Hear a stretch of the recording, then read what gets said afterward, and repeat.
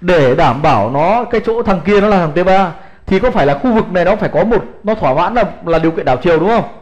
Nào người ta hiểu cho em ạ? Cái chỗ T3 này là nó sẽ theo quy luật là nó sẽ đảo chiều từ đây xuống dưới này. Đấy. Là nó một cái đảo, một cái nhịp từ đây xuống nó khá là dài đấy. Nhưng nó phải thỏa mãn ba thứ. Đây. Nó phải thỏa mãn ba thứ. Một là nó phải gặp vùng hội tụ kháng cự. Hai là nó phải hình thành một cái mô hình đảo chiều ở khu vực thằng T3. Được chưa nào? Cho nên là lần đầu tiên nó chạm. Đây, cái chỗ này là mình ăn cái lệnh này là lệnh lần đầu tiên. Đấy. Tăng nhẹ trước, giảm sau, ưu tiên bán. Lần đầu tiên nó chạm. Cho nên là cái chỗ này nó không có mô hình đảo chiều gì đây cả.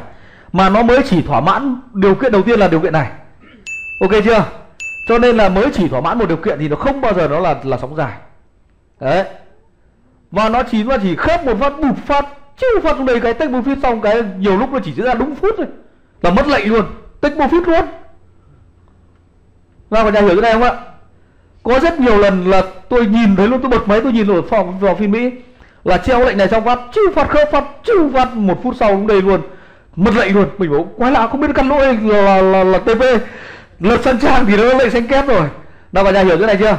Đấy chỗ này chỗ này là lệnh ngắn. Nói luôn là lệnh là lệnh ngắn nhé thế vậy sau khi cái điều này diễn ra đây là nó phản ứng. Theo thị trường là có một lượng lớn nhà đầu tư hiểu biết như mình treo sell limit ở đây và đặt PPTP ở đây. Khớp lệnh phát đến đây cái chốt lãi luôn. Sau đó đây nó mới là đi theo cái điều kiện một. Đến điều kiện hai này đến đây bắt đầu nó mới xác định mô hình đảo chiều này. Thế vậy từ đây bắt đầu nó mới vòng lên. Thế à, hiểu đây hiểu chưa? Hiểu chưa? Hôm nay nó vòng lên thì có thể là mô hình hai đỉnh. Có thể nó hình thành tạo thành mô hình vai đầu vai. Nào mọi hiểu cái này không ạ. Thì lúc đấy lúc này mình lại có cơ hội làm gì? Bán tiếp. Đúng chưa? Lại có cơ hội bán tiếp cái gì đó đến chỗ này lại có cơ bán tiếp. Đấy thế vậy là cái lần đầu tiên mà chúng ta chỉ ăn ngắn thôi. Đến lần thứ hai thì có thể cái phần bên này nó kết hợp với cái cái cái cái cái, cái phần bên này này để tạo thành mô hình gì ạ? Vai đầu vai đúng không? Có thể có thể thôi. Còn nếu nó chưa có thì nó có thể nó hình, hình thành ở chỗ này để tạo thành vai đầu vai đúng không? Đấy thế vậy là lần thứ hai bắt đầu nó mới xuất hiện mô hình đảo chiều. Thì cái mô hình đảo chiều mà bán được lệnh dài nhất ngon nhất đó là gì? Là mô hình gì ạ? Vai đầu vai đúng không nhỉ? Đấy, vai đầu vai nhưng mà phải là vai đầu vai của biên pt cơ thì mới kiếm được nhiều tiền. Chứ vai đầu vai trên trên mạng internet là không kiếm được tiền. Phải là vai đầu vai của biên pt thì cái mô hình đấy học ở khóa 4 đúng không nhỉ? Đấy. Đúng không? Ở khóa 4 tôi dạy nguyên lý cách xác định cái điểm bán này một cách cực kỳ chi tiết qua năm bước, đúng không?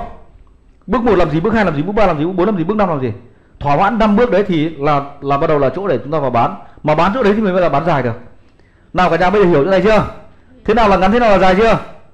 Hả? Hiểu chưa? Nào, mấy anh em ban đầu, hiểu chưa? Mấy anh em áo đen ở dưới, hiểu chưa?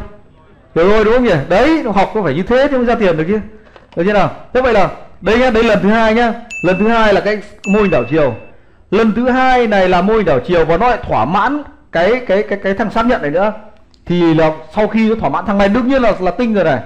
Sau khi nó thỏa mãn hai thằng này nữa thì lúc đấy bắt đầu mới bán dài được. Bán dài là bán từ thằng T3 này bán xuống tận đâu ạ?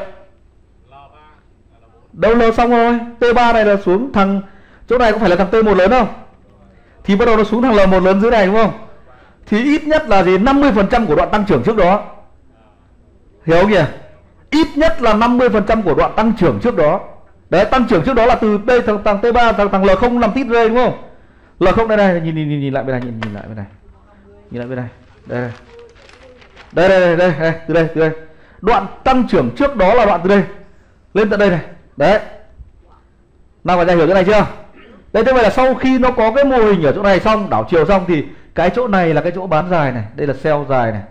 Đấy chỗ này là sell dài này. Đây là sell hai này. Còn thằng sell một đây là chỉ là ngắn thôi. Đấy thằng sell hai này mới là thằng sell dài. Được chưa?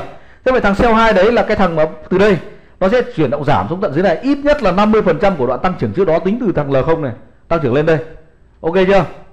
Nào, thế tại sao tôi lại nói là thằng năm 2021 này một năm là còn tuyệt vời cả hơn năm 2020 bởi vì 2075 là nó là cái đỉnh T1 nào, cả nhà hiểu cái này chưa? 2075 đối với giá vàng ấy. 2075 thì nó là cái vùng này này, chỗ này, cái chỗ này nó là 2075 này. 2075 đô trên ao. Đấy, và bây giờ bản chất nó đang có cái nhịp vòng lại này đúng không? Nào cả nhà nhìn trên đồ thị VK1 có phải bây giờ nó đang là cái đoạn này không? Đúng rồi rồi ôi đấy và tháng 12 hàng năm là ở bên Mỹ là thường nó tạo ra cái việc làm ngắn hạn rất là nhiều. Nó vì nó cái mùa lễ hội mùa tiêu xài của nó. Cho nên là cái bản tin Navaveron của, của tháng 1 là thông thường là bản tin tốt cho đồng đô. Và đầu tháng 1 này ra tin ngay ngay tuần sau này thì là cái bản tin nó sẽ tốt đồng đô và làm cho đồng đô đang ở đáy đúng không? Đang ở đáy và nó, nó bật phát nó tăng vụt lên này thì có phải là cái đoạn cái đoạn này nó sẽ đảo dài xuống dưới này không? Ok chưa? Điều gì diễn ra giảm 50% từ đây lên đến trên này? Cái cái cái cái đây là là năm, tháng 8 năm 2018 cái đoạn này, cái đoạn cái đoạn đoạn gần đây nhất là chỗ này tháng 8 năm 2018 là có giá là 1166 60 đấy. Nào nhẩm nhẩm nhanh phát xem nào. 1160 lên đến là 2015 là bao nhiêu giá? 1 900 giá. 800 900 đúng không? 900 1160 cơ mà anh. 900 915 915 Đúng không nào? 915 mà nó xác thực Bây giờ là cái đoạn này, Bây giờ nhá, đến đoạn này. Bây giờ những anh chị em học combo rồi thì kiểm tra cái thằng xác nhận này là xác nhận chưa?